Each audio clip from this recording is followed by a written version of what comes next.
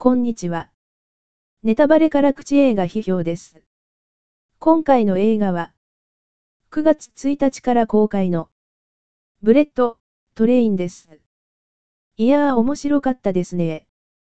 コメディで笑わせてくれるけど、伏線が多くて、いろいろ考えてみてないと、置いてかれる。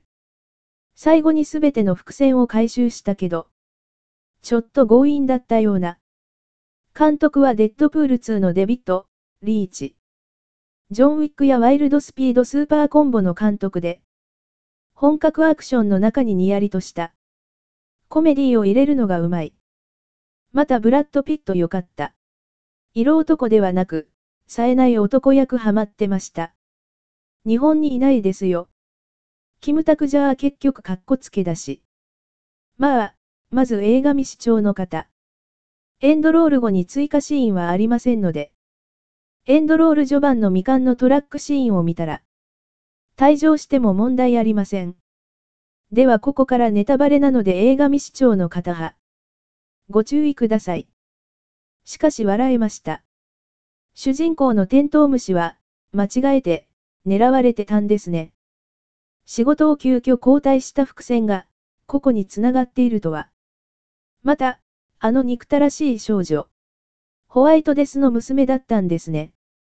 意外というか、父を憎む理由があまり語られなくて。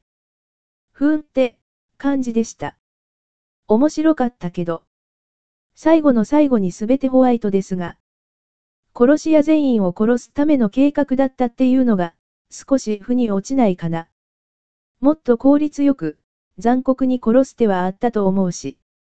また、真田広之、何年復讐の機会伺ってたんだ。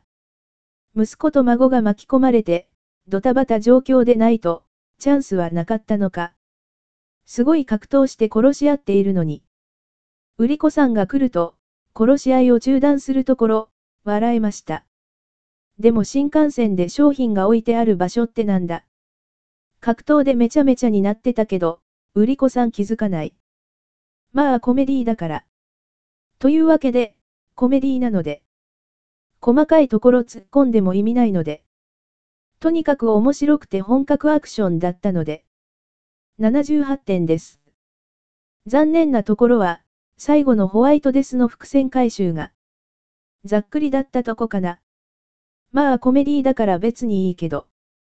しかしブラッド・ピット、この映画もいまいち代表作には、なれなそう。セブン、ファイトクラブ、いいけど大ヒットしたわけではないし。オーシャンズイレブンは、ジョージ・クルー2位の映画だし。最後サンドラ・ブロック出てたけど。ザ・ロストシティのお返しなんだろうね。でも必要なかったような。